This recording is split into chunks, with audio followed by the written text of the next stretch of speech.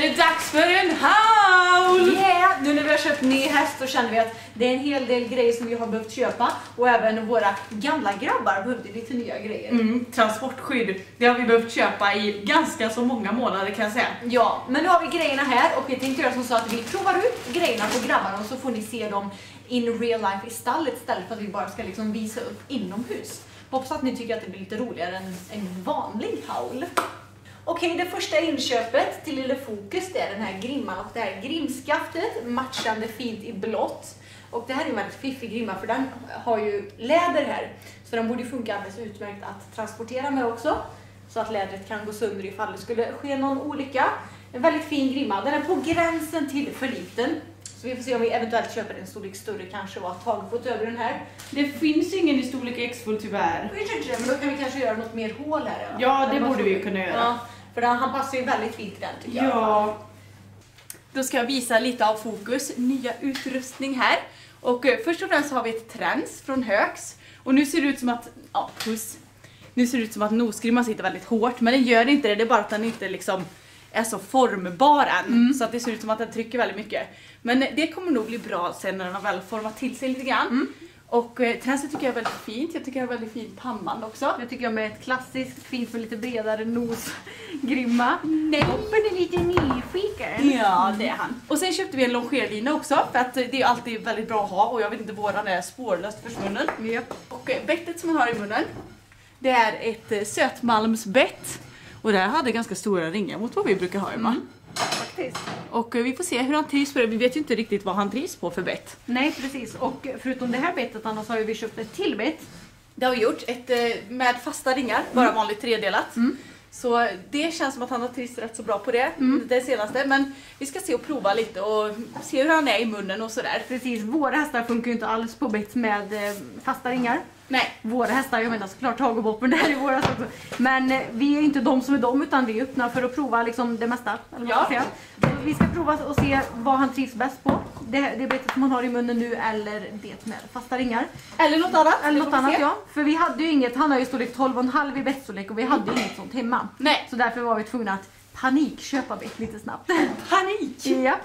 Men han har ju på sig fler nya grejer Anna. Ja det har han. Han har på sig luddboots från Protector. Och det här är något sånt här fusk fårskinn. Och det är det även på de här. Det är eh, luddskinn från Horse Guard.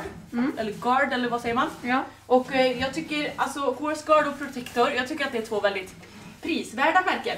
Och de här känns jättestadiga och bra. Så de ska nog passa bra. Alltså jag är ju sån så att nu när vi ska rida lite mer dressyr på den här, en hoppning, då vill man gärna ha lite dressyrskydd för jag orkar inte linda benen. Nej. Alltså jag förstår inte de som orkar linda benen dag ut och dag in. Jag bara blö, boring. Skydd passar mycket bättre tycker jag. Jag håller med. Och till sist när det gäller fokus så har vi köpt en padd till honom. Det är en sån här fårskinspadd från Mattes med, eh, alltså det är fickor här som man kan fylla ifall han skulle liksom ändra sig i kroppen. För att vi känner att just nu känns det inte som någon stor idé att eh, byta sadel. Nej. Utan det, då är det bättre att fylla padden för att han kommer ju antagligen muskla om sig väldigt mycket nu. Mm. Och sadeln ligger ju faktiskt bra på honom. Den ligger jättebra. Så som det är nu. Ja, så att därför har vi köpt den här padden för att den behöver lite fyllning under. Så får vi se om vi behöver ändra om någonting i framtiden eller hur det blir. Och sista grejen ut är transportskydd till både Tage och Boppen. Boppen står här och kikar in sina nya transportskydd. Jajamän. De är från Horse Guard också, det blev en del inköp från det märket. Och Tage har på sig dem nu, både fram och bak. Som ni ser så är det lite lägre transportskydd, vilket känns väldigt smidigt. Speciellt för Boppens del som har shivering och inte är sådär jätteförtjust i att ha grejer på sina bakben.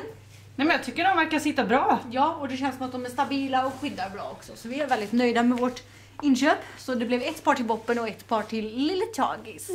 Och nu ska vi ta och visa vårt sista köp, Anna. Yes, och det är ett par stigbyglar från Spränger. Jag kommer inte ens ihåg vad de här heter, men är det Bobalance? Alltså, de är ju... Ja. Jag, Jag tror inte det är Bobalance. Nej. För grejen är att de här är lite mer, alltså det är lite mer plast i botten Mm. och sen går det ju att böja så här så att det är ju en säkerhetsstigbygel och den är lite formad så att den nästan sticker lite ut så här så Mm. att man får ett bättre grepp. Och jag har bara hunnit rida i dem en gång hittills. Mm. Men jag fick en jättebra alltså första känsla så. Mm. Och jag har ändå inte gillat Sprängers Bow Balance. Nej. Däremot har jag gillat De alltså, vanliga de vanliga. Sprängers, ja. Ja. Men inte Bow Balance så att jag tror att det här är någon Det här är nog någon ny innovativ grej som jag gillar jättemycket faktiskt. Ja, vad bra. Då ska det bli spännande att se vad jag kommer tycka om dem också för jag har faktiskt inte provat dem än. Nej, Så där hörni, det var allt för den här haulen. Ja, har ni någon favorit av det som vi har köpt idag så får ni jättegärna kommentera det nedanför. Ja, glöm heller inte bort att prenumerera på vår kanal och spana in vårt senaste klipp. Ha det så bra så syns vi igen i nästa video. Det gör vi. Hej då!